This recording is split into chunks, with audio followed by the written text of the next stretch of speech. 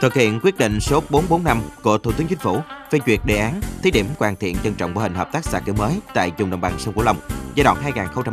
2016-2020, gọi tắt là đề án 445. Tỉnh Trà Vinh có 13 hợp tác xã tham gia xây dựng thí điểm mô hình hợp tác xã kiểu mới. Đây là cơ hội cho các hợp tác xã tiếp cận các chính sách hỗ trợ nhằm tăng cường nguồn lực vốn dĩ còn nhiều hạn chế.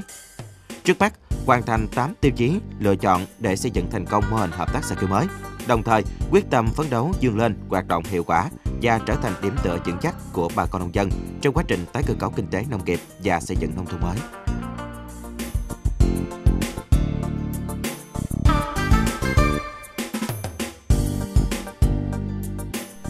Trên địa bàn tỉnh Trà Vinh có tổng số 120 hợp tác xã nông nghiệp đang hoạt động, trong đó có 13 hợp tác xã nông nghiệp được chọn tham gia thí điểm xây dựng mô hình hợp tác xã kiểu mới giai đoạn 2016-2020. Hợp tác xã nông nghiệp Phú Mỹ Châu, Hợp tác xã nông nghiệp Dịch vụ Quyền Hội, Hợp tác xã nông nghiệp Phú Cần, Hợp tác xã nông nghiệp Rạch Lợp, Hợp tác xã nông nghiệp Dân Tiến, Hợp tác xã nông nghiệp Nhị Trơn, Hợp tác xã Thanh Long Vĩnh Trà, Hợp tác xã Quýt Đường Thuận Phú, Hợp tác xã Dừa Sáp Hòa Tân, Hợp tác xã Xoài An Lộc,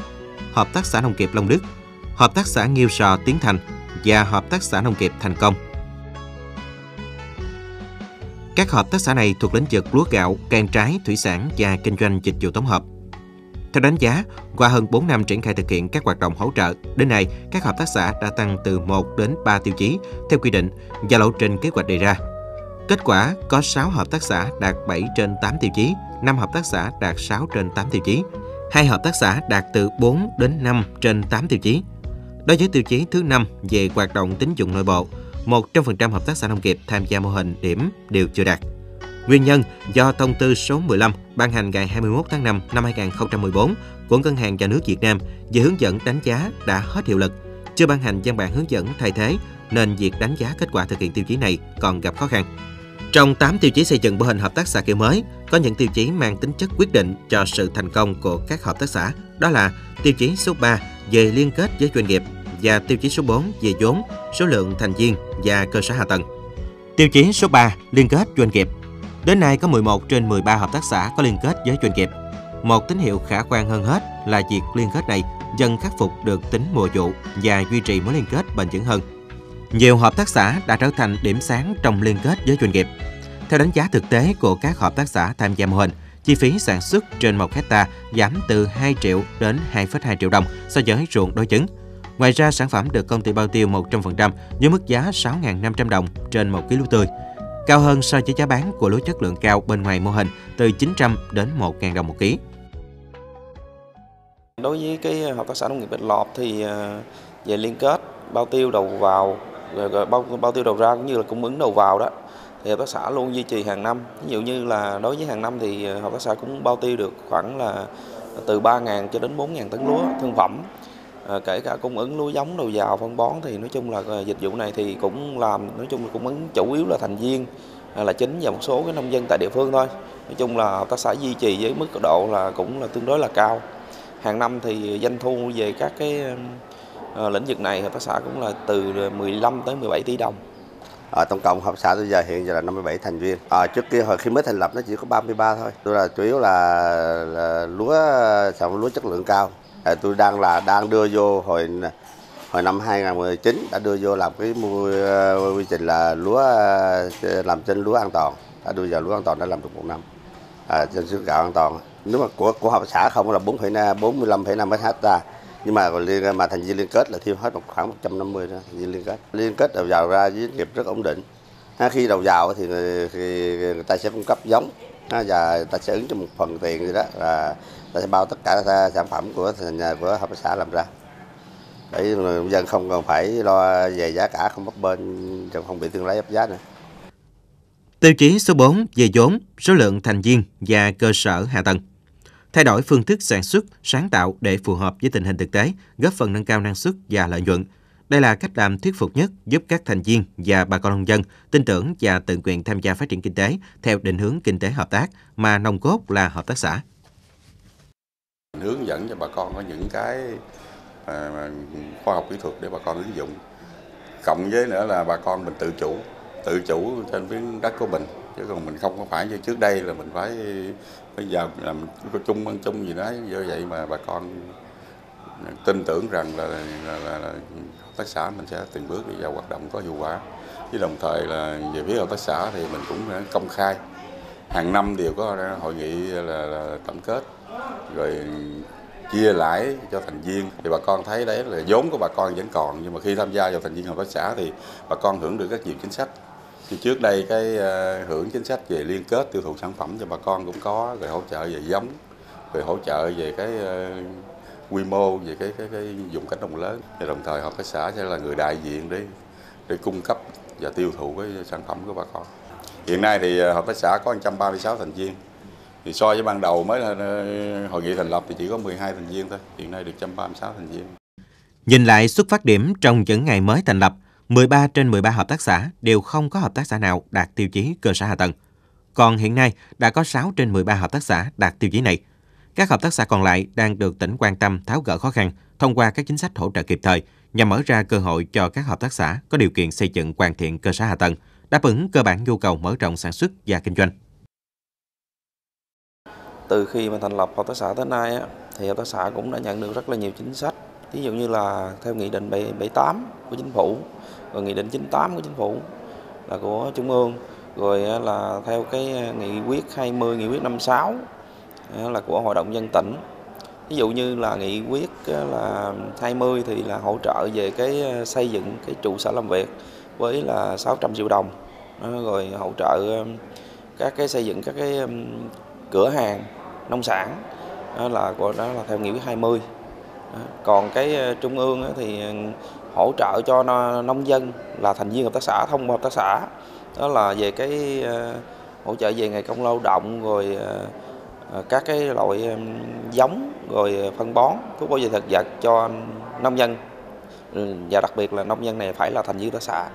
hỗ trợ thông qua hợp tác xã đó là những cái chính sách từ trên ờ, trung ương cũng như là chính sách của tỉnh. Tiêu chí số 6 có phương án sản xuất kinh doanh rõ ràng và khả thi. Trong quá trình hoạt động thực tế, các hợp tác xã đang từng bước khẳng định vai trò chủ thể trong việc định hướng, đổi mới tư duy sản xuất cho bà con nông dân theo nhu cầu của thị trường và thực hiện tốt việc liên kết, đảm bảo đầu ra ổn định cho các mặt hàng nông sản chủ lực. Trong đó, còn có nhiều hợp tác xã được xây dựng và phát triển đi lên từ nền tảng là các loại nông sản chủ lực của địa phương. Ban đầu thì nhu cầu của bà con trên dùng nguyên liệu của ấp Phong Trị thì cùng mình thành lập hợp tác xã vào 2004. Đến nay thì à, khi vào hoạt động thì à, từ khi mình à, chuyển đổi qua cái luật 2012 thì cũng có rất là nhiều chuyển biến như là cái số lượng thành viên mình cũng tăng lên. À, từ 30 hộ bây giờ là gần 70 hộ. Và đồng thời diện tích và cái à, vốn mình để sản xuất thì cũng tăng lên.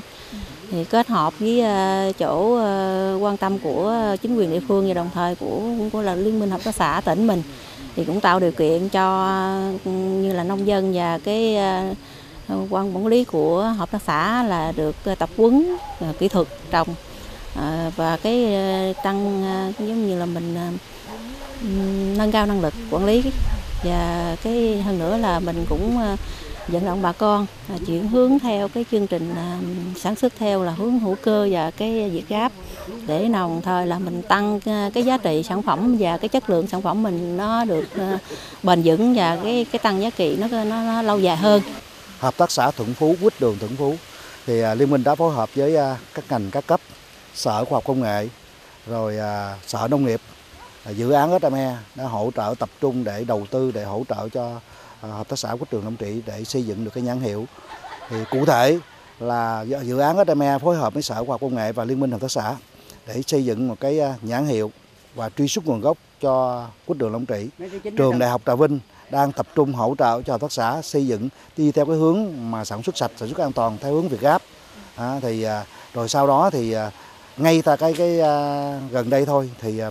à, chúng tôi đã liên hệ với viện kinh tế hữu cơ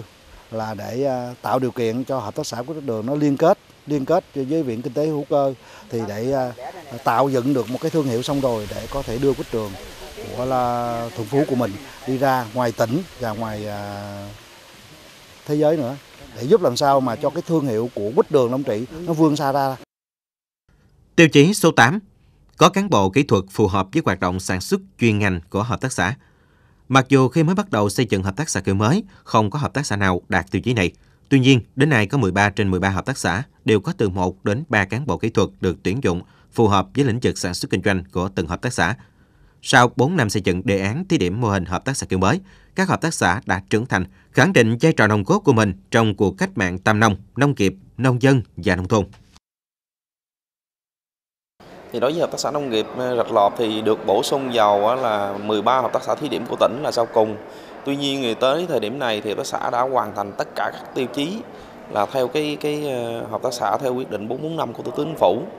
thì tính tới thời điểm này thì chúng tôi cũng đã hoàn thành trăm phần trăm cái cái các cái tiêu chí trừ tiêu chí số 5 là tính dụng nội bộ thì đang chờ hướng dẫn trên thôi